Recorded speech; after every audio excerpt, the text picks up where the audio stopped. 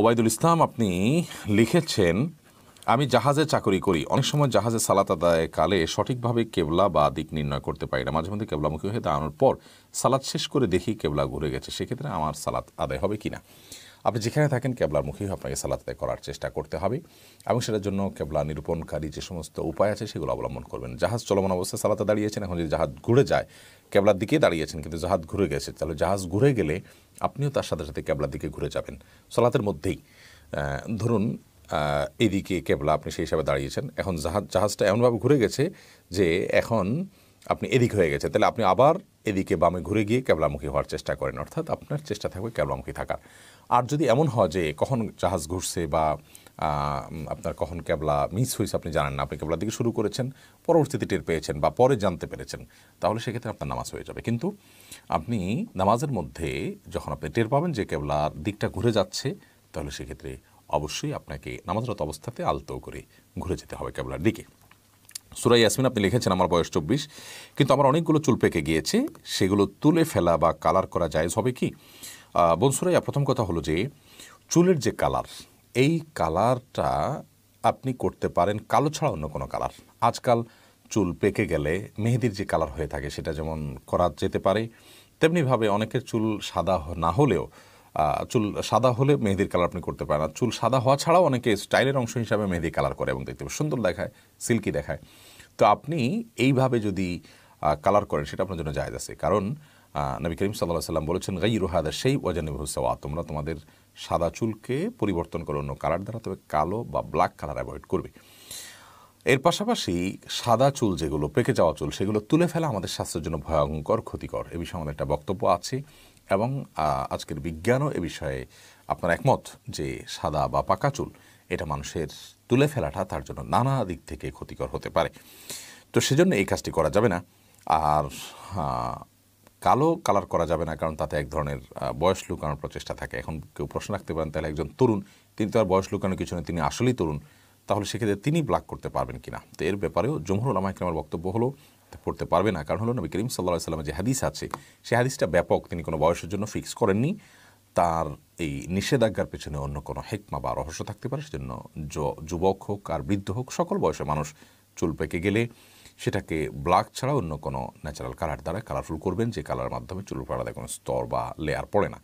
এরকম যে কোনো কালার তিনি করতে পারেন, কিন্তু ব্ল্যাক কালার দিয়ে পরিবর্তন করবেন না। যদিও কোনো কোনো আলেম বলেন যে, না, বয়স যারা তরুণ, তারা তো আর লুকার কোনো কোনো অপশন নাই, বিধায় তারা ব্ল্যাক কালার করতে পারবে। কিন্তু এই মতটি সংখ্যাগরিষ্ঠ ওলামাদের মতের বরি- বিরোধী এবং পরিপন্থী মত। এরপর নবাব মাহমুদ, আপনি লিখেছেন, নাপাক অবস্থায় কিছু পান করলে কোনো সমস্যা আছে কিনা? না, কোনো অসুবিধা নেই। নাপাক অবস্থাতে আপনার জন্য সুনির্দিষ্ট কিছু কাজ নিষেধ, যেমন আপনি সলাৎ করবেন না, কোরআন তালাত করবেন না, ফরজ গোসল হলে আর কি। তারপরে আপনি তফ করবেন না। এই কাজগুলো নাপাক অবস্থা করবেন না, কিন্তু নাপাক অবস্থায় আপনি যদি কিছু খান বা পান করেন, সেটা হারাম হবে না, নাজায়জ হবে না গুণ হবে না। সময় আপনি লিখেছেন, আমি পরিপূর্ণ পর্দা করতে চাই। আমাকে কিছু নসিহত করুন। আপনি যদি পরিপূর্ণ পর্দা করতে চান, তাহলে সেক্ষেত্রে আপনার মাহারাম মেনটেনটা সবচেয়ে গুরুত্বপূর্ণ। অর্থাৎ আপনার পরিবারের সদস্যদের মধ্যে ঘরোয়া যাদের সাথে আপনি সাক্ষাৎ করেন, তাদের মধ্যে থেকে কার আপনার মাহারাম তাদের সাথে দেখা দিবেন, যারা মাহারাম নন তাদের সাথে আপনি দেখা দিবেন। এমনকি মাহারামদের সামনেও এমন পোশাক পরবেন যেটা শালীনতার গণ্ডির মধ্যে থাকে। বিশেষ করে আজকে ফেতনার এই সময়টাতে এই বিষয়টি অনেক বেশি গুরুত্বপূর্ণ। এর বাইরে বাইরে আপনি যখন যাবেন, সেখানে এমন পোশাক পরবেন যে পোশাক অন্যের দৃষ্টিকে আকৃষ্ট না করে। যে পোশাক আপনার সৌন্দর্যকে ঢেকে, ঢুকে রাখে এবং পারফিউম ব্যবহার করবেন না, সেটা পর্দার খেলাফ হবে। এবং আপনি আপনার পর্দার পোশাকের ক্ষেত্রেও লক্ষ্য রাখবেন যে পোশাকটা যেন ঢিলে ঢালা হয়, পোশাকটা যেন আটোসাটো না হয় পোশাকটা যেন খুব জাঁকজমকপূর্ণ হয়, খুব না হয়, খুব কালারফুল যেন না হয়। সেখানে কারুকার্য যেন এত বেশি না থাকে যে ওইটার ফলে আপনার প্রতি অন্যের দৃষ্টি অনেক বেশি আকৃষ্ট হয়। সেই দিকগুলো খেয়াল রাখতে হবে। তাহলে ইনশাআল্লাহ বিদিনা পর্দার বিধান পালিত হবে। ঠিক একইভাবে কণ্ঠের পর্দাও আছে, অর্থাৎ পরপুরের সাথে কথা বলার সময় কণ্ঠকে কোমল করার জন্য বিশেষ কোনো প্রচেষ্টা থাকবে না। মোহাম্মদ শাকিল আপনি লিখেছেন, ক্লোজ আপ বর্তমানে প্রকাশ্যে জেনা করার ব্র্যান্ড হয়ে দাঁড়িয়েছে। ফেব্রুয়ারি আসলেই তারা বিজ্ঞাপনের মাধ্যমে যুব সমাজকে প্রকাশ্যে জেনা করার জন্য উৎসাহিত করছে। এটা একটা বড় ধরনের সমস্যা হয়ে দাঁড়িয়েছে। এদের পরে কিছু বলতেন। দেখুন, খুবই গুরুত্বপূর্ণ একটি প্রশ্ন এবং আর্গুমেন্ট ক্লোজ আপ আমরা জানি এনরিবলিভারের একটা ব্র্যান্ড। এই ব্র্যান্ড আপনার যদিও একটা পেস্ট শুধুমাত্র পেস্টের ব্র্যান্ড, অথচ তারা তাদের প্রচারণা দেখলে মনে হয় তারা এদেশে জেনাকে, অবৈধ কাজকে, হারাম কাজকে প্রমোশন করতে এসেছে। অনেক মুসলিম দেশে তারা আপনার সমকামিতার প্রচারণায় এবং সেটাকে স্বাভাবিককরণের জন্য তারা অর্থ ব্যয় করছে। এই দেশ থেকে ইউনিলিভার, তারা বাইরের প্রতিষ্ঠান, বাইরের দেশ, বাইরের ব্যবসা, বাইরের কোম্পানি, তারা এদেশ থেকে আমাদের টাকা পয়সা ব্যবসার মাধ্যমে যেরকম নিয়ে যাচ্ছে, আমাদের ইমানটা হরণ করে নিয়ে যাচ্ছে এবং তরুণ প্রজন্মকে ধ্বংস করার জন্য এদের দায় অনেক বেশি। কোনো ভালো কাজে এদের কোনো ইনিশিয়েটিভ দেখতে পাবেন না। কোনো ইসলামিক কোনো প্রোগ্রামে ভালো কোনো কাজে যেটার সাথে এদেশের মাস পিপল জড়িত, সেখানে তাদেরকে স্পন্সর করতে দেখবেন না। সম্প্রতি আমরা দেখেছি যে ক্লোজ আপ একটা বিজ্ঞাপন প্রচার করছে যে একজন হিজাব পরিহিতা নারী, একজন ছেলে যার বুকে ক্রুশচিহ্ন আছে। তার সাথে অবৈধ সম্পর্ক করছে এবং নিচে লিখে দেওয়া আছে, দ্বিধাহীন কাছে আসার গল্প। তার মানে তারা বলতে চাচ্ছে যে কোনো মুসলমান, যে কোনো ধর্মের মানুষের সাথে শারীরিক সম্পর্ক করতে কোনো প্রকার দ্বিধা যেন না করে। তথাকথিত অবৈধ রিলেশন যেটা, হারাম রিলেশন যেটা, সেটা করতে যেন দ্বিধা না করে। এই যে প্রচেষ্টা তাদের, এই যে আপনার একটা হারাম কাজের জন্য উদ্বুদ্ধকরণ এবং ইসলাম যেটাকে হারাম করেছে, মুসলিমদেরকে সেই হারাম জিনিসটা করতে উদ্বুদ্ধ করা এবং সেটাকে স্বাভাবিক করে ফেলা যুবকদেরকে তথাকথিত প্রেম, অবৈধ রিলেশন এবং হারাম রিলেশনকে স্বাভাবিক করার যে প্রচেষ্টা তাদের, এই প্রচেষ্টাটা অত্যন্ত গর্হিত এবং জঘন্য। এক, একটি কারণে অন্তত এই পেজটি আমাদের বয়কট করা উচিত এবং এটা বয়কটের ডাক তোলা উচিত। সামাজিকভাবে এটার বিরুদ্ধে আমাদের শক্ত অবস্থানে যাওয়া উচিত। আল্লাহ রব্বুল আলমিন আমাদেরকে হেফাজত করুন, আমাদের তরুণ প্রজন্মকে হেফাজত করুন এবং এদের এই নোংরামি থেকে আল্লাহ তালা আমাদেরকে বেঁচে থাকার তৌফিক দান করুন, তরুণদেরকে বাঁচিয়ে রাখার তৌফিক দান করুন। তারা এদেশ থেকে অর্থ করে যেমন নিয়ে যাচ্ছে, আমাদের ইমান আমলটা নিয়ে যাচ্ছে এবং একটা পেস্টের ব্র্যান্ড। তারা এ ধরনের প্রচারণা উদ্দেশ্যমূলকভাবে করা, এটা এই দেশকে এদেশের সংস্কৃতিকে এদেশের সভ্যতাকে ধ্বংস করে দেওয়ার নামান্তর বিধায় কর্তৃপক্ষের উচিত এদের ব্যাপারে যথাযথ পদক্ষেপ গ্রহণ করা। আল্লাহ আমাদেরকে বোঝার তৌফিক দান করুন। আশিকুর রহমান আপনি লিখেছেন কোনো মেয়েকে কেউ বিয়ের প্রস্তাব দিলে চলমান প্রস্তাবের সুরাহা হওয়ার আগে তাকে অন্য কেউ বিয়ের প্রস্তাব দিতে পারবে কিনা? আহ, না ভাই আশিক এটা করতে পারবে না। কারণ হলো নবী করিম সাল্লা সাল্লাম বলেছেন ওয়ালা ইয়াহতু বাহাদুকুম আলা খিতবাতে আখি। তোমাদের কেউ যদি কাউকে বিবাহের প্রস্তাব দেয় তাহলে সেই প্রস্তাবের শুরু হওয়ার আগ পর্যন্ত যাদের কাছে প্রস্তাব গেছে তারা এটা গ্রহণ বা ডিনাই এই দুইটার কোনো একটা করার আগ পর্যন্ত অন্য কেউ সেখানে যেন প্রস্তাব না দেয়। একইভাবে নবী করিম সাল্লাহ সাল্লাম বিয়ের ক্ষেত্রেও নিষেধাজ্ঞা আরোপ করেছেন কেউ কোনো পণ্য ক্রয়ের জন্য মূলামুলি করছে। এখনও ক্রেতা বিক্রেতা তারা কোনো সিদ্ধান্তে আসতে পারেনি। একজন প্রস্তাব করেছে, অন্যজন বিবেচনাধীন রেখেছে। এর মধ্যে যদি আরেকজন প্রস্তাব দেয়, সেটাও গুনাহের কথা আদিসে সুস্পষ্টভাবে নিষেধ আছে, এটা জায়জ নয়। এরপরে সঞ্জনা চৌধুরী, আপনি লিখেছেন, আমাদের এখানে কাঠবিড়াল, কাঠবিড়ালি গাছে নারকেল সুপারি সবেদা ইত্যাদি ফল খেয়ে নষ্ট করছে। এর প্রতিকারস্বরূপ কি গাছে বিষ বা জীবাণুনাশক প্রয়োগ করা যেতে পারে? কোনো প্রাণীর উপদ্রবে যদি আপনি অতিষ্ঠ হন, তাহলে সেক্ষেত্রে সে প্রাণীকে নিয়ন্ত্রণ করার জন্য আপনি তাকে হত্যা করতে পারেন। যদি অন্য কোনোভাবে নিয়ন্ত্রণ করতে না পারেন বেড়াটাড়া দিয়ে বা অন্য কোনোভাবে হেফাজত করতে না পারেন, তাহলে সেক্ষেত্রে তাকে হত্যা করতে পারেন। সে রাইট আপনার আছে। অতএব হত্যা করতে গিয়ে সবচাইতে তুলনামূলকভাবে তার জন্য কম কষ্টের কারণ হবে এরকম কোনো প্রক্রিয়া থাকলে সেটা অবলম্বন করতে পারেন। বিষ প্রয়োগ একটা মাধ্যম হতে পারে। অনেক সময় এমন কোনো পদ্ধতি অবলম্বন করা হয়, যেমন আঠার মধ্যে আপনার আপনার ইঁদুরকে আঠা দিয়ে ধরা এবং সে আঠার মধ্যে লেগে থেকে টেনে হেসড়ে তার চামড়া টামড়া এগুলো পৃথক করে, অর্থাৎ অত্যন্ত মর্মান্তিকভাবে তাকে হত্যা করা হয়ে থাকে। এটা নিষেধ। নবী করিম সাল্লাহ সাল্লাম বলেছেন ইন্দ আল্লাহ কাতাবের হেসান আলাকুল্লি সেই আল্লাহ রবুল আলম প্রত্যেকটা বস্তুর প্রতি যেন হেসান করা হয়, সেজন্য সেটাকে ফরজ করেছেন। এমনকি আমরা যখন কোনো পশু জবে করব, জবে করে তাকে খাব, আল্লাহ তালা জন্য হালাল করেছেন, তার প্রাণ বের হবে, সে মারা যাবে। তারপরেও সেটাতেও যেন অবিচারমূলক না হয় এবং খুব বেশি তার প্রয়োজনের চাইতে বেশি যেন কষ্ট না হয়, সেদিকটা আমাদের খেয়াল রাখতে হবে। এই নির্দেশ ইসলাম আমাদেরকে দিয়েছে। তো সেই জন্য আপনার একজন মানুষ তাকে খেয়াল রাখতে হবে যে এই কাঠবেড়া ইত্যাদিগুলোকে হত্যা করতে গিয়ে তিনি যেন জুলম করে ফেলছেন, এই পর্যায়ে না যায়। এরপরে তাজিদুল ইসলাম লস্কর আপনি লিখেছেন, নামাজের তেলাওয়াত ভুল হলে সহযোগিতা করতে হবে কিনা? তেলাওয়াতের মধ্যে যদি বড় ভুল হয়, যেটাকে লাহনি জালি বলা হয়, অর্থের মধ্যে বিকৃতি ঘটে গেছে, আপনি অল্প একটু তেলাওয়াত করছেন, সেখানে বড় ধরনের ত্রুটি ঘটে গেছে, তাহলে সেক্ষেত্রে তো আপনার সলাতি হবে না। আর যদি সামান্য ছোটোখাটো ভুল হয়, একটু মদ গুন্নায় দিক হয়, তাহলে তার ফলে কোনো অসুবিধা নেই, সজদা করতে হবে না তার জন্য। সাহেবুদ্দিন আবির মাগুরা এই আইডি থেকে আপনি লিখেছেন, আজানের পূর্বে রসুলের শানে দূরত পড়ার পর আজান দেওয়া যাবে কিনা? অনেক অঞ্চলে আজানের আগে নবী করিম সাল্লাহ আসলামের প্রতি দূরত প্রেরণ করা হয় আসসালাতাম আলাইকে রাসুল্লাহ ইত্যাদি ইত্যাদি বলা হয়। বিশেষ করে চট্টগ্রাম, চাঁদপুর, এই সমস্ত অঞ্চলগুলোতে এই কাজটি একটু বেশি দেখা যায়। এক্ষেত্রে নবী করিম সাল্লাহ সাল্লামের সুন্না হলো, তিনি আজানের পরে দূরত পড়ার নির্দেশ করেছেন। আজানের পরে যখন আমরা দোয়া পড়ব আল্লাহ মরব্বা হাজির দাওয়াজির তাম্মা, এ দোয়া পড়ার সময় আমাদেরকে দূরত পাঠের নির্দেশনা দেওয়া হয়েছে। বিধায় আজানের আগে নয় দূরত পাঠ হবে আজানের পরে। যে আমলটাকে পরে করতে বলা হয়েছে, সেটা যদি আমরা আগে করি বা পরে করতে বলেছে, পরেও করলাম, সাথে আগেও করলাম। তাহলে সেটা বেদাতে পরিগণিত হতে পারে। কারণ নবী করিম সাল্লাহ সাল্লাম আজান আগে দূর দেওয়াটা যদি ভালো কাজ হতো, তিনি বলতেন, আজান তো একটা আমল। শরীয়তে যেভাবে, যে ফর্মেটে বর্ণিত হয়েছে, সেখানে কোনো প্রকার সংযোজন বা বিয়োজন করাটা, এটা শরীয়তের মধ্যে সংযোজন বিয়োজনের ফলে বেদাতে পরিগণিত হওয়ার মাধ্যম বা কারণ। বিধায় এই বিষয়টাতে সাবধান হতে হবে। আমরা যতটুকু জানি, আজানের আগে কোন হাদিসে নবী করিম সাল্লাহ ওয়াসাল্লাম এর প্রতি দূরত পাঠ করার নির্দেশ দেওয়া হয়নি। তাছাড়া আজানের মধ্যে নবী সাল্লাহ সাল্লামের নাম উল্লেখ হবে, যার কারণে আজানের পরে আপনি দূরত পাঠ করবেন, সেটা যৌক্তিকতা আছে, কিন্তু আজানের আগে আপনি কি কারণে দূরত পাঠ করবেন হাদিসেও নির্দেশ নেই, আর তার কোনো যৌক্তিক গ্রাউন্ড নেই। বিধায় এই কাজটা থেকে আমাদের বেরিয়ে আসা উচিত। সুন্নাহ যেভাবে এসেছে, ঠিক সেভাবে আমরা আমল করার চেষ্টা করা উচিত। নবী করিম সাল্লাহ সাল্লার পক্ষ থেকে পাঠানো মডেল, তাকে ফলো করতে হবে। আমার মন গড়ায় কোনো কিছু করলে সেটা পরিত্যাজ্য হবে।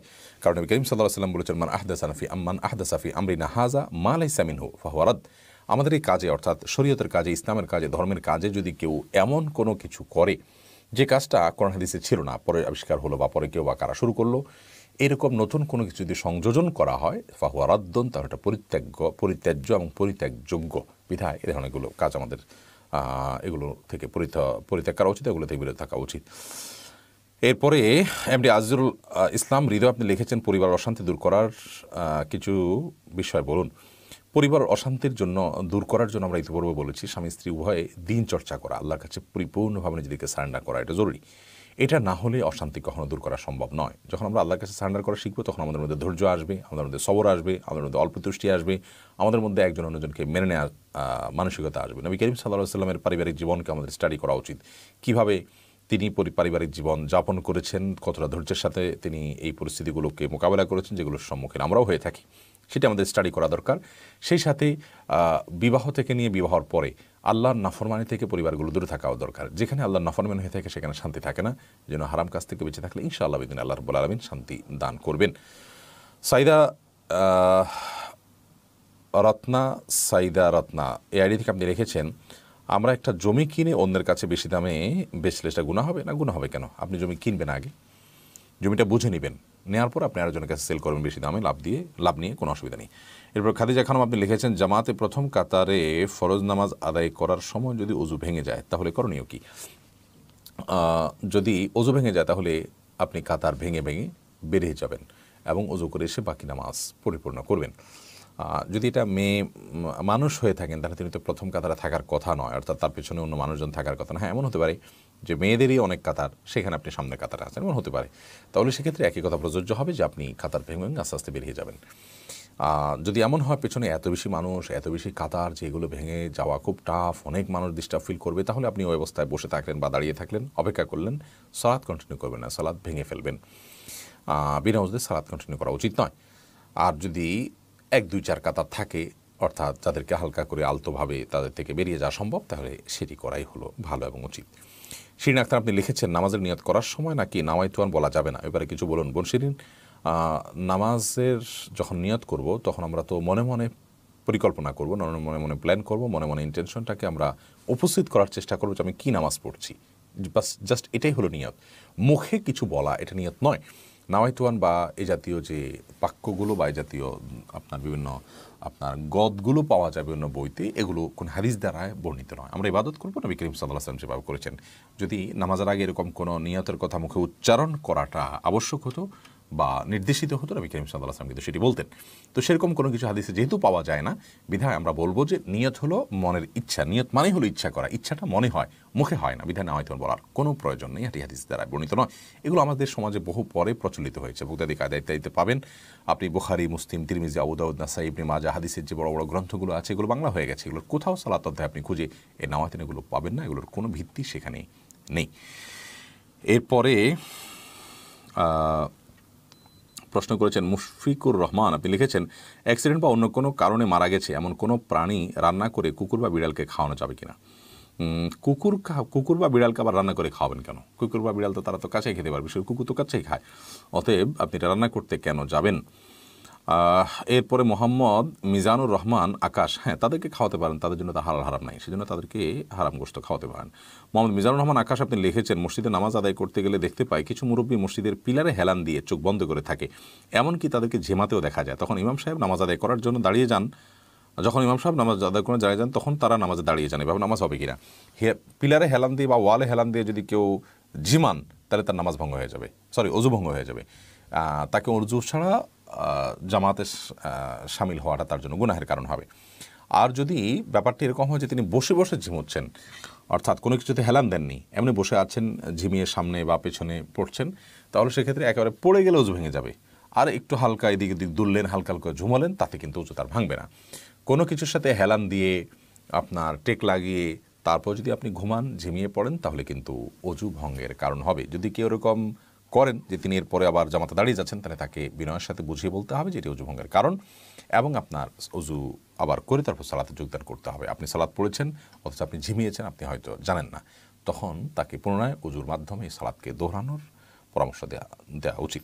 ফয়সাল মোহাম্মদ আপনি লিখেছেন, বাবা মায়ের অমতে পাবলিক বিশ্ববিদ্যালয়, বিশ্ববিদ্যালয়ে পড়ালেখা করা যাবে কি না দেখুন আপনার সাধারণ কাজ, যেটা কোনো আপনার জন্য আবশ্যক নয়, সে কাজে বাবা মা যদি আপনাকে বাধা দেন এবং তার যৌক্তিক কোনো গ্রাউন্ড থাকে, অর্থাৎ এই বাধাটা আপনার জন্য কোনো অন্যায়মূলক নয় জাস্ট তাদের ভালো লাগছে না, তাহলে বাবা মার সেই নির্দেশনা মানা উচিত, এটা কর্তব্য।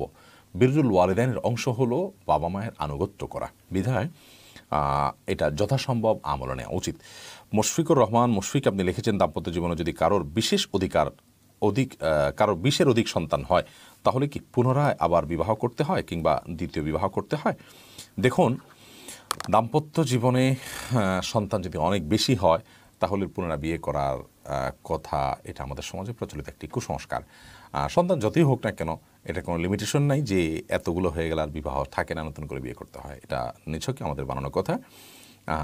এর সাথে বিবাহের কোনো ভাঙ্গার, কোনো সম্পর্ক নয় তালাক বা বিচ্ছেদ যদি না হয়, তালাক যদি না দেন তাহলে সেক্ষেত্রে সন্তান যতই হোক না হোক, এমনকি অনেকে মনে করেন যে এতদিন দূরে থাকলে সম্পর্ক বোধহয় শেষ হয়ে যাবে আবার নতুন করে বিয়ে করতে। এমন কোনো কথা নেই।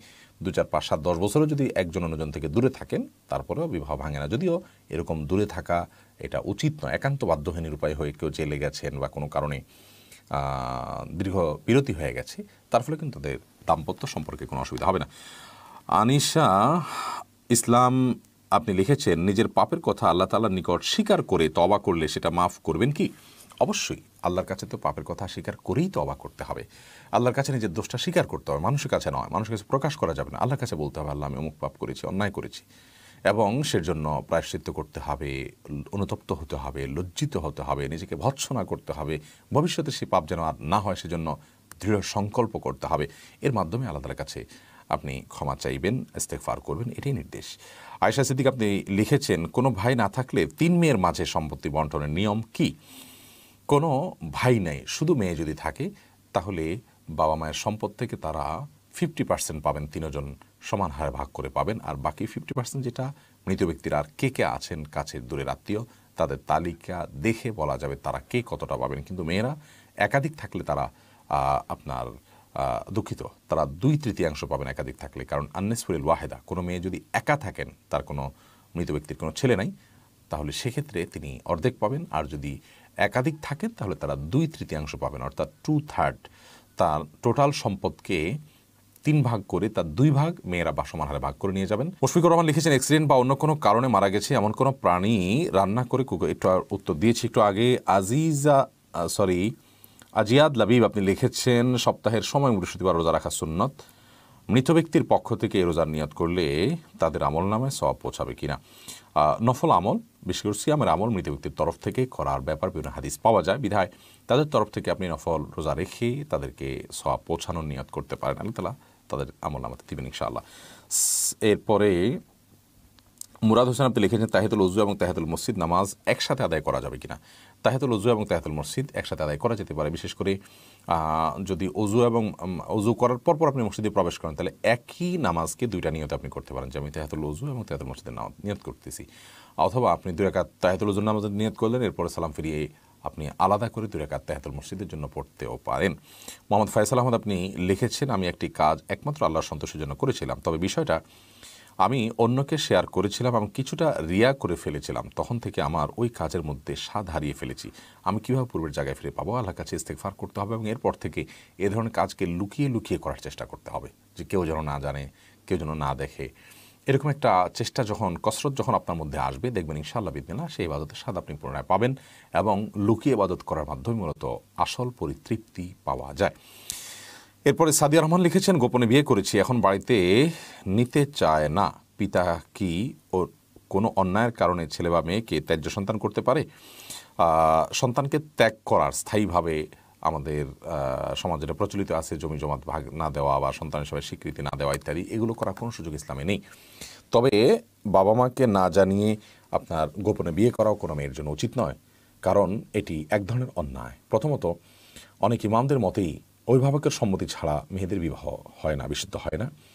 আর দ্বিতীয়ত বাবা মা তাদের সন্তানকে বিবাহ দিবেন এবং আমরা একটু আগে কুফুর সম্পর্কে বলছিলাম যে সামঞ্জস্যতা কোথায় হবে, না হবে, এ বিষয়ে তাদের যৌক্তিক প্রশ্ন তোলার রাইট আছে। তা আপনি সেটিকে না জানিয়ে হাইড করে করবেন, সেটি অন্যায় কাজ। কিন্তু মা বাবা সেই কারণে সন্তানকে ত্যাগ করা এবং চিরকালের জন্য তাদেরকে তথাকথিত তেজ্যপুত্র ঘোষণা করা, এটা অন্যায় কাজ, এটা জলম। তারা কোনো ভুল সন্তান করে থাকে, সেকে কারেকশন করার চেষ্টা করবেন এবং অভিমান করার তাদের রাইট আছে। তারা অভিমান করতে পারেন একটা লিমিটেড সময়ের জন্য, কিন্তু সেই অভিমানটা স্থায়ী হতে পারবে না, যে চিরকালের জন্য তাদেরকে বর্জন করে দিলাম। এরপরে এ আর তানজিন, আপনি লিখেছেন, বাথরুমের বাইরে বিসমিল্লা বলে বাথরুমে উজু করলে উজু হবে? হবে, কোনো অসুবিধা নেই। মোহাম্মদ সবজল হোসেন এ আইডি থেকে আপনি লিখেছেন সবাসের সময় শরীরে যে কাপড় থাকে সেটা পরে নামাজ হবে কিনা, যদি সেখানে কোনো নাপাক না লাগে, ওইটা পরে নামাজ পড়ে নামাজ হবে। যদি আপনি এটাকে আলতোভাবে এমনভাবে রাখেন যে সেখানে কোনো নাপাক লাগল না, তাতে কোনো অসুবিধা নেই, নামাজ হয়ে যাবে। নাজমুল হোসেন, আপনি লিখেছেন, আমি ভারত থেকে বলছি, অপবিত্র অবস্থায় কি ওয়াজ শোনা যাবে? যাবে, কোনো অসুবিধা নেই। এমডি কামরুজ্জামান রনি লিখেছেন, মেয়েরা কি রাতে চুল ছেড়ে দিয়ে ঘুমাতে পারবে? পারবে, কোনো অসুবিধা নেই। এমডি জনি, জয়, আপনি লিখেছেন, বিয়ে বাড়িতে সৌন্দর্য বৃদ্ধির জন্য লাইটিং ইত্যাদি করা কি অপচয় হিসাবে গণ্য হবে? এটা যদি মাত্রাতিরিক্ত হয়, যেমন দূর দূরান্ত পর্যন্ত অহেতুক আপনি লাইট লাগালেন, সেটা অপচয়ের মধ্যে গণ্য হতে পারে। কিন্তু বাড়ি বাইরের আশপাশটা একটু আলো দিলেন, মানুষ আসা যাওয়া করে, তাদের আলোর কাজ হলো, পাশাপাশি সৌন্দর্য হলো, সেটা তো প্রয়োজনের মধ্যে পড়ে। ওম্মে সালমা আপনি লিখেছেন, মুসলিম ও হিন্দু কি একই বাসায় বসবাস করতে পারবে? বসবাস করতে পারবে, কিন্তু অন্তরঙ্গের বন্ধু হিসাবে কোনো মুসলিমকে গ্রহণ করা জায়জ নয়। এবং একসাথে থাকার কারণে যদি তার মাধ্যমে আপনি প্রভাবিত হতে বা হতে পারেন আশঙ্কা থাকে, শীতটা আপনার কাছে স্বাভাবিক হয়ে যাবে সেরকম আশঙ্কা থাকে, আপনার ইমান যদি দুর্বল থাকে, তাহলে আপনার জন্য জায়জ নয়। যদি আপনি তাকে, আপনার ইসলামের সৌন্দর্য তাকে অবলোকন করাবেন, আপনার আচরণের মাধ্যমে, আখলাকের মাধ্যমে আপনি তাকে দাওয়াত দিতে পারেন, এরকম সুযোগ থাকে, তাহলে সেটি জায়জ হতে পারে। আর এমনি সাধারণ অবস্থাতে একসাথে থাকলে সেটা আপনার শরিয়ার মৌলিক নির্দেশনা লঙ্ঘন করে একেবারে মানে ফরস্তরক হয় বা কাবিরা গুণ হবে সেটা সেরকম না। যদি প্রয়োজন হয় একসাথে থাকার কোনো বিশেষ কারণে আপনার কোথাও থাকলেন কোনো হোস্টেল ইত্যাদিতে, এটা জায়জ আছে। তবে ওই যে অন্তরঙ্গ বন্ধুরূপে গ্রহণ করা এবং তার দ্বারা প্রভাবিত হওয়া, এই দুটি কিন্তু জায়েজ নয়। সঞ্জিদা জান্নাত সঞ্জু আপনি লিখেছেন, আমার স্বামীকে আমি অনেক ভালোবাসি, কিন্তু আমার স্বামী আমার প্রতি আন্তরিক নয়, আমার করণীয় কী? আপনার স্বামী যদি আপনার প্রতি আন্তরিক না হন, আপনি তাকে অনেক বেশি ভালোবাসেন, তাহলে সেই ক্ষেত্রে আপনার স্বামীর ভালোবাসার জন্য আপনি নিজের পক্ষ থেকে যত চেষ্টা আছে আপনি করবেন এবং আপনার চেষ্টায় কোনো যেন ত্রুটি না থাকে আকৃষ্ট করার চেষ্টা করবেন। অন্যের মাধ্যমে তাকে আপনি সংশোধনের পথে আনার চেষ্টা করবেন, এটি আপনার কর্তব্যের অংশ। এরপরেও যদি তিনি আন্তরিক না হন, তাহলে সেক্ষেত্রে আল্লাহর কাছে অন্তত আপনার কোনো দায় থাকবে না। আপনি সবর করে তার সংসার যদি করেন, ইনশাআল্লাহ বিদিনিল্লা এই সবরের ফল আপনি দুনিয়াতে পাবেন, আখেরাতেও পাবেন, ইনশাআল্লাহ। এমনি আমদাদুল হক, আপনি লিখেছেন, আমি স্টুডেন্ট পড়াই, মাঝে মধ্যে অভিভাবককে তার পড়া সম্পর্কে রিভিউ দিতে হয়। কখনো স্টুডেন্টের সম্পর্কে খারাপ রিভিউ দিতে হয়? এদিকে আমার গিবত হবে না? অভিভাবকের কাছে বলাটা তার কল্যাণের জন্য। তার কল্যাণের জন্য তার কাছে বলাটা, এটা জায়জ আছে, কোনো অসুবিধা নেই, এটা নিষিদ্ধ গিবতের মধ্যে পড়বে না। ফরহান তাজুয়ার জয়, আপনি লিখেছেন, পরিবার থেকে যদি সন্তানকে দিনের পথে চলতে না দেওয়া হয়, সেক্ষেত্রে সন্তানের করণীয় কি? যদি নফল কাজে বাধা দেওয়া হয় সন্তান, সেক্ষেত্রে বাবা বা মা নির্দেশনাকে আমল নেবেন এবং নফল তরক করবেন। ধরুন একটা জায়গায় যেতে নিষেধ করছেন, তাহলে আপনি অন্য জায়গায় যাওয়ার অপশন আছে, তাহলে সেখানে যাবেন। কিন্তু যদি ফরজ কাজ করতে আপনাকে নিষেধ করা হয়, ওয়াজিব কাজ করতে আপনাকে নিষেধ করা হয় বা কোনো হারাম করতে আপনাকে নির্দেশ করা হয়, তাহলে সেক্ষেত্রে আপনি সেই নির্দেশ মানবেন না। কারণ লা তাফি মাসিয়া, অন্যায় কাজে কোনো আনুগত্য কারোর করা যাবে না। এরপরে পাপিয়া হাসান আপনি লিখেছেন, আমার স্বামীর সিগারেট খাওয়া কীভাবে বন্ধ করব? আমি আর চেষ্টা করে পারছি না। আপনি আপনার চেষ্টাকে অব্যাহত রাখুন, সেই সাথে দোয়াও করুন, তবে তার এই পাপের বোঝা তিনি বহন করবেন। আপনি আপনার চেষ্টা করেছেন দাওয়া পেশ করেছেন, আপনি চেষ্টা করে যাচ্ছেন, এবং স্বামী স্ত্রীর মধ্যে একে অন্যের কাছে আর্গুমেন্ট করে, দাবি আদায় করে, আদায় করা যে কোনো জিনিস অনেক বেশি সহজ, কিছু অমানুষ এবং একান্ত কিছু আপনার শক্ত হৃদয়ের মানুষ হলে তাদের কথা ভিন্ন। তো আপনি সেই চেষ্টাটা অব্যাহত রাখবেন। আপনার হাতে যে পাওয়ার আছে অ্যাজ এ স্ত্রী আপনার স্বামীকে আর্গুমেন্ট করে, আবেদন করে, আবদারের মাধ্যমে ভালোবাসার যে দাবি আছে সেই দাবি দিয়ে আপনি তাকে আপনার কথা শোনানোর জন্য আপনি চেষ্টা করবেন বিনয়ের সাথে। সেই চেষ্টা আপনি অব্যাহত রাখলেন, তারপর না করলে তিনি পাপিষ্ট হবেন, আপনার কোনো দায় নেই, আপনি সবর করলে আল্লাহ তালা আপনাকে আজর দিবেন। এরপরে পারভেজ হোসেন হৃদয় আপনি লিখেছেন, বর্তমানে অনেক ব্যবসা প্রতিষ্ঠানে ব্যবসা প্রতিষ্ঠান ছাত্রছাত্রীদের জন্য কিস্তি ভিত্তিক বিভিন্ন গ্যাজেট বিক্রি করে। যেমন মোবাইল, ল্যাপটপ ইত্যাদি। আমার প্রশ্ন হলো, এভাবে ক্রয় করা কি শরীয়ত হ্যাঁ কিস্তিতে কোনো কিছু কেনা বেচা করা এটা নিষিদ্ধ নয়। বিভিন্ন হাদিস থেকে সাবা একরাম এরকম লেনদেনের কথা পাওয়া যায়। তার কিছু যদি আপনি লিখেছিলাম ছোটোবেলায় ওষুধ দিয়ে পাখি শিকার করতাম। এখন শুধু তখন একটি পাখির মৃত্যুর পর জবাই করে বিক্রি করে ফেলেছি। পরবর্তীতে আমি ভুল বুঝতে পেরেছি। এখন করণীয় কী? হ্যাঁ মৃত্যুর পর জবাই করে বিক্রি করেছেন, এটা হারাম কাজ করেছেন এজন্য আল্লাহ কাছে ইস্তেকফার করবেন, মাপ চাইবেন এবং অন্যের হক নষ্ট করেছেন, সেজন্য কিছু দান, সাদাকা করে দিবেন। কারণ যেটা বিক্রয়যোগ্য নয়, এমন জিনিস দিয়ে তার কাছ থেকে আপনি অর্থ কালেকশন করেছেন, সে অর্থটা আপনার জন্য হারাম হয়েছে। ব্যক্তি বেঁচে থাকলে তার কাছ থেকে মাপ চেয়ে নেবেন বা অর্থ ফেরত দিবেন, কিংবা তার পক্ষ থেকে এটি দান করে দিবেন, তার জন্য সবের উদ্দেশ্যে। তিনি যেন সব সেই উদ্দেশ্যে এবং আল্লাহর কাছে এর জন্য ইস্তেকফার এবং ক্ষমা করবেন, ক্ষমা চাইবেন। ইনশাআল্লাহ আল্লাহ মাফ করবেন।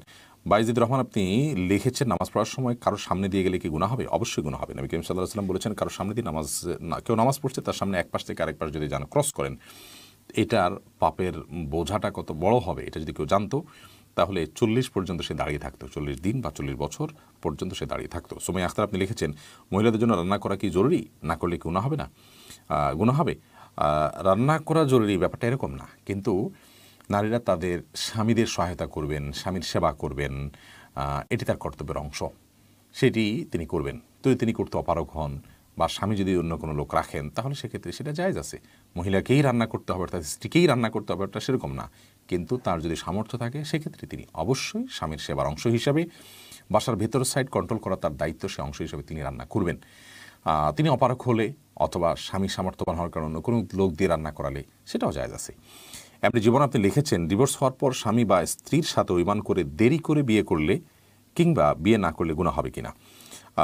যদি দেরি করে বিয়ে করার ফলে কিংবা বিয়ে না করার ফলে আপনি আপনার চরিত্রকে হেফাজ করতে না পারেন, আপনি মনের জেনা, কল্পনার জেনা বা অন্যান্য জেনার মধ্যে পতিত হওয়ার আশঙ্কা থাকে, তাহলে সেক্ষেত্রে বিবাহ ইচ্ছাকৃতভাবে বিলম্ব করা যায় নয়। কারণ বিবাহ করার সামর্থ্য থাকলে আর বিবাহ না করার ফলে গুণের দিকে যেতে পারেন এরকম আশঙ্কা থাকলে সেক্ষেত্রে বিবাহ করাটা ওয়াজিব হয়ে যায়।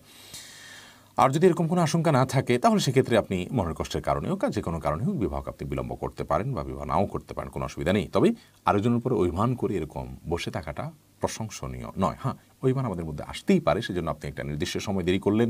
সে রাইট আপনার আছে, যদি আপনি পাপের পথে লিপ্ত হওয়ার আশঙ্কা না থাকে, নিজের প্রতি এত আত্মবিশ্বাস যদি থাকে। রবিনা বেগম, আপনি লিখেছেন, কুড়িয়ে পাওয়া সন্তান পালনের ইসলামিক বিধান কি? মা বাবার পরিচয় জানা না গেলে জন্ম নিবন্ধন বা সমাজে নিজের নামে পরিচয় দেওয়া যাবে কিনা? কুড়িয়ে পাওয়া সন্তান তাদেরকে তাদের বাবা মাকে খুঁজে বের করে তাদের কাছে পৌঁছানো উচিত। যদি সেটা না পারা যায় বা সেটা যদি আপনি করতে না পারেন, কোনোভাবে খুঁজে না পাওয়া যায়, তাহলে সেক্ষেত্রে তাদেরকে আপনি নিজের সন্তান হিসাবে, অর্থাৎ আমার সন্তান, আপনি তার বাবা হলেন কাগজপত্রে লিখলেন এটা জায়জ নয়। এবং তাদের বাবা হিসাবে কারও না কারোর নাম লিখতে হবে। যদি অজান, অজানা থাকে এবং কাগজপত্র দিতে বাধ্য হয়, তাহলে সেক্ষেত্রে নিরূপায় হিসাবে আপনার নামটা আপনি লিখলেন। শুধুমাত্র অফিসিয়ালি তার প্রসেসগুলো প্রসিডিউরগুলো মেনটেন করার জন্য। কিন্তু সমাজে আপনি তাকে নিজের সন্তান হিসাবে পরিচিত করতে পারবেন না। কারণ সেটা প্রতারণা হবে এবং মিথ্যা হবে। মার্জিয়া হক আপনি লিখেছেন, প্রসাবের ছিটা গায়ে লাগলেই শাস্তি হয় হয় না। তা থেকে পবিত্রতা অর্জন করে আল্লাহর ইবাদত করলে শাস্তি হয়। ছিটা গায়ে লাগলেই শাস্তি হয় না। তা থেকে পবিত্রতা অর্জন না করে আল্লাহর ইবাদত করলে শাস্তি হয়। কেউ যদি প্রসাব করে, সঠিকভাবে পবিত্র না হয়, কিন্তু অজুর আগে পা কোমর ভালোভাবে ধুয়ে নেয়, পবিত্র হয়, তাহলে কি এটা তার পাপ হবে? কী ধরনের পাপ হবে? পেশাব করে ভালো করে পবিত্রতা অর্জন করাটা আবশ্যক। যদি পেশাব শরীরে কোনো জায়গা লাগে, তাহলে সেক্ষেত্রে ধুয়ে ফেলবে, কিন্তু যাতে না লাগে, সেভাবে পেশাব করা উচিত। কারণ পেশাবের কারণে বেশিরভাগ কবর আজাব হয়ে থাকে না। বিকেম সাল্লাহ জন্য পেশাব থেকে আমাদেরকে বেঁচে থাকতে বলেছেন। অনেকের তাবাস তাস তাসিন উপমা আপনি লিখেছেন, সন্তানকে কীভাবে পাঁচ নামাজ সঠিকভাবে পড়ানো যাবে এবং পড়ালেখা মনোযোগী করা যাবে, সন্তানকে বাধ্য করার কি কোনো আমল আছে? সন্তানকে ভালো পরিবেশ দিতে হবে, নিজেরা ভালো থাকতে হবে বাসা বাড়িতে সুন্দর যে এক্সারসাইজগুলো আছে, ভালো কাজের এক্সারসাইজ আছে, সে কাজগুলো যত বেশি করা হবে পুরো বাসাতে সন্তান সেটা দেখে দেখে শিখবে। এমন প্রতিষ্ঠানে তাদেরকে দিতে হবে যে প্রতিষ্ঠান থেকে সে ভালো কিছু শিখবে এবং পরিবেশে সেখানে ভালো।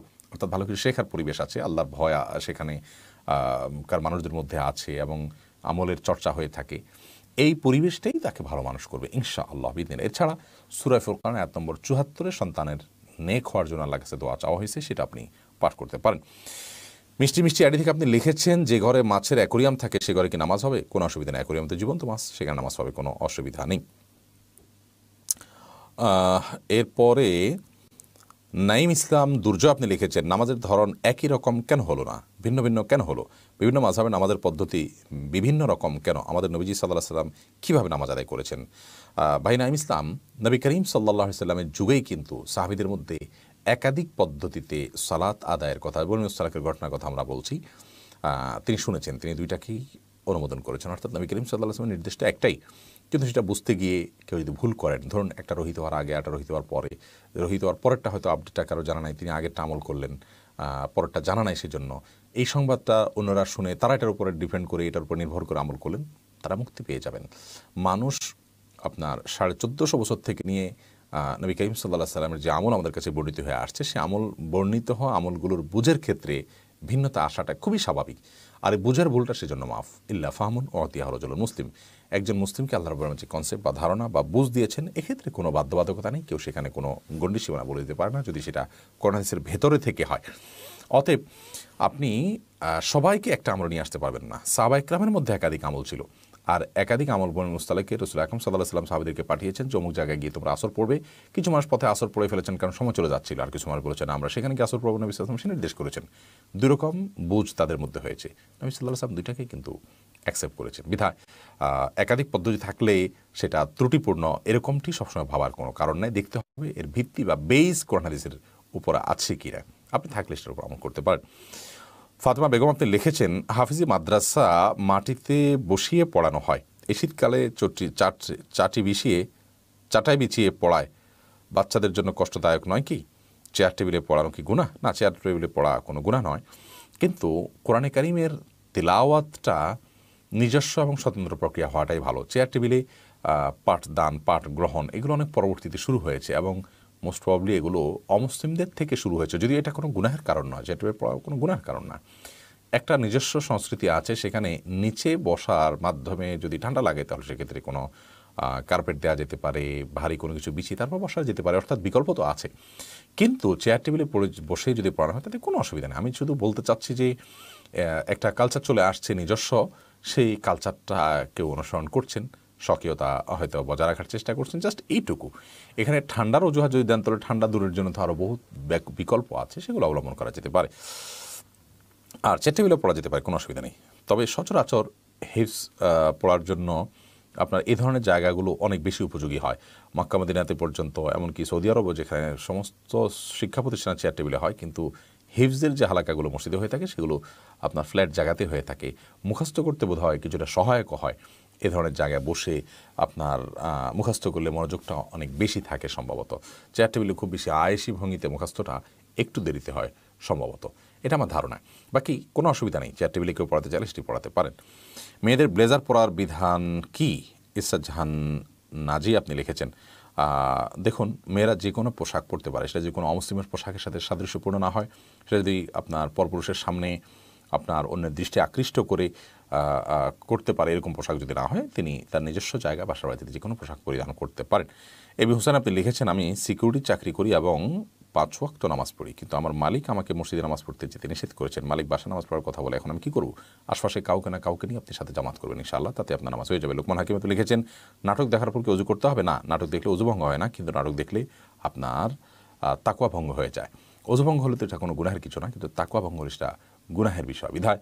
নাটক যেখানে নারী পুরুষের আপনার মিশ্রণ রয়েছে, যেখানে মিউজিকের ব্যবহার আছে, সেখানে হারাম দৃশ্য আপনি দেখছেন, সেটার কারণে আপনার তাকুয়া ভেঙে যাচ্ছে, সেটা আরও অনেক বড় ব্যাপার। অজু ভাঙবে না, অজু ভাঙলে তো খুব ছোটো ইস্যু থাকতো।